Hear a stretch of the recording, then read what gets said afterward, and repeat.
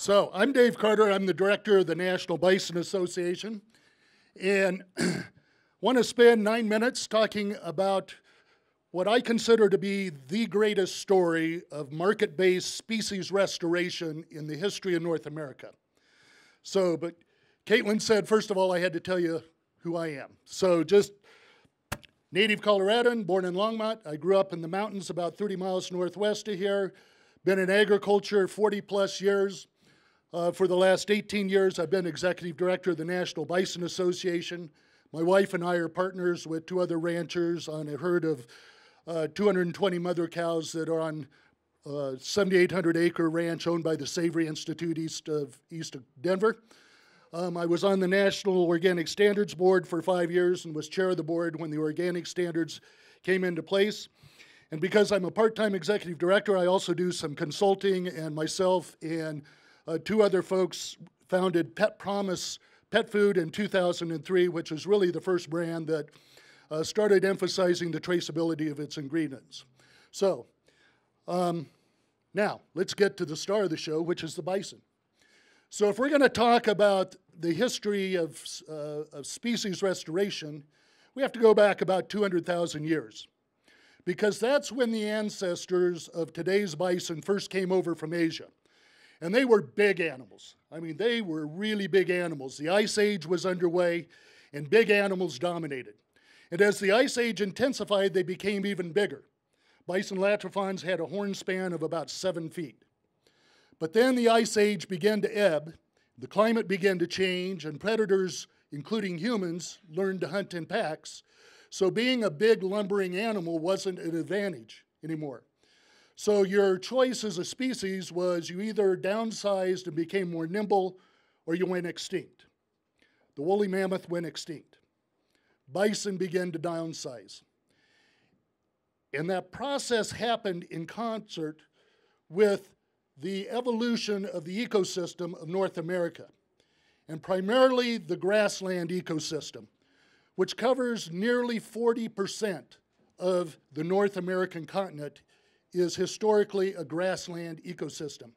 And it evolved in concert with the bison.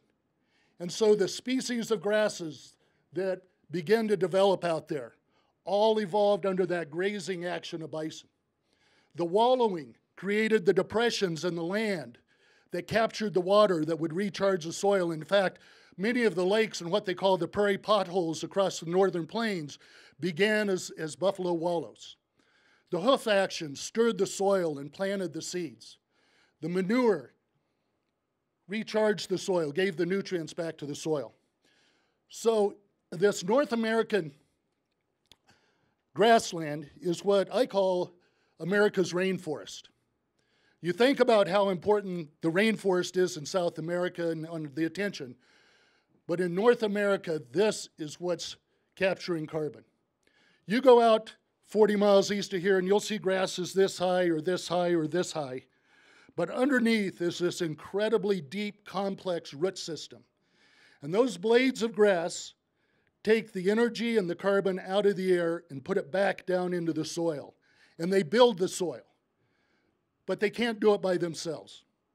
If left untended, they would grow up and choke themselves off and turn the grasslands into a desert. They've got to have a gardener. And this is the gardener that Mother Nature provided. Now, sure, the deer and the antelope were playing out there, but the buffalo were roaming. They were the, they were the, they were the keystone species that created this and helped build that healthy soil. And they did one other thing when they ate that grass was they took the cellulose, which is undigestible by us, and turned it into a really nutritionally dense protein. And that's why, if you think about it, bison is nature's original plant based protein.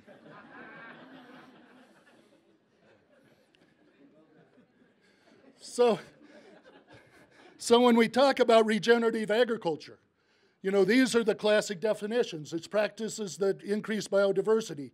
They capture the carbon and put it back down into the soil, reversing the, the trends and grazing animals are a key component. Albert Howard, who was the father of organic agriculture, said, Never does nature separate the animal and vegetable worlds. This is a mistake that they cannot endure.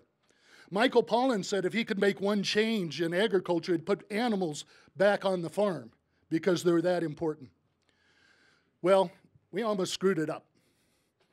Because before the first European settlers came, there were as many as 40 million bison in North America. And then through a combination of factors, uh, the railroads going through, the buffalo hunters hunting them, uh, the Industrial Revolution, the hides make great belts for those factories, so they slaughtered a lot of them. A strategy to deny the Native Americans their food supply, so they go on the reservations, and probably the diseases that were brought over from European cattle killed as many as, as anything else.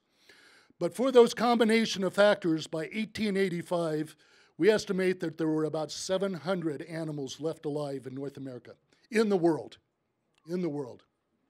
They had three hooves over the brink of extinction. And fortunately, there was a handful of ranchers, primarily at the urging of their wives, that went out and gathered up the remnants of the herd and began to create what we call the five foundation herds where almost all bison come from. And there were a few other players. The Bronx Zoo played a role, and so did Teddy Roosevelt. But it was these ranchers in the West that began to, to restore the animals. Well, fortunately, well, I got this one out of slide, but tell you that. Today, we are up to about 200,000 bison here in, in the United States. In North America, there are almost 400,000 bison. We're the number one processing and marketing state. South Dakota is the biggest state with a number of herds. But our goal is to bring back a million bison to North America. We call it Bison 1 Million. Now, the ranchers are playing a big role. We have a relationship with the Intertribal Buffalo Council. We're trying to get more bison back on tribal lands. We're working with the conservation community. But I'll tell you, there's a critical fourth partner in bringing back more bison, and that's the customers. The more you eat bison, the more we're going to bring them back. And so that's why we want to emphasize that companion animals are, are vital partners for us in helping to bring back those animals. Using all of the animal, just as the Native Americans stressed. Bison can create a point of difference in pet food. I've talked to several folks here today that are already talking about it. It's a nutritious ingredient, and we have marketers that are anxious to work with individual companies to establish that supply chain to give you something uh, different to work with.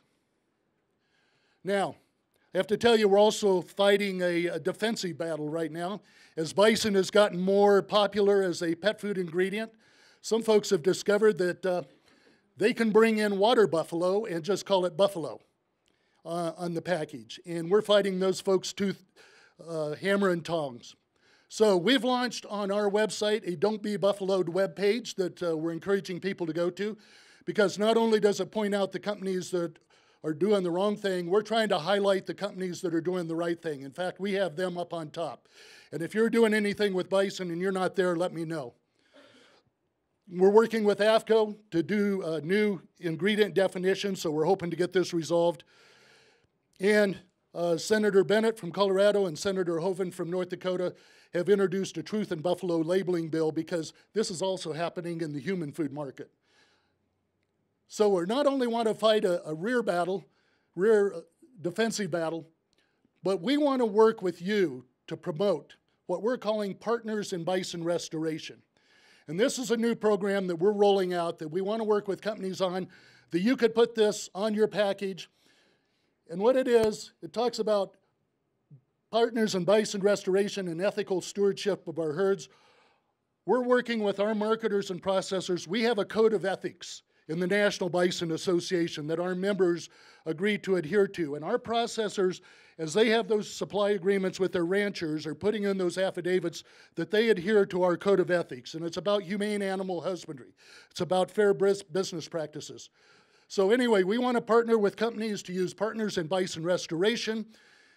Go down to that website, that takes you to a site that helps tell the story of what this animal is doing to regenerate a healthy ecosystem, healthy families, healthy communities. So, We just ask you to be our partner in bison restoration. Thank you.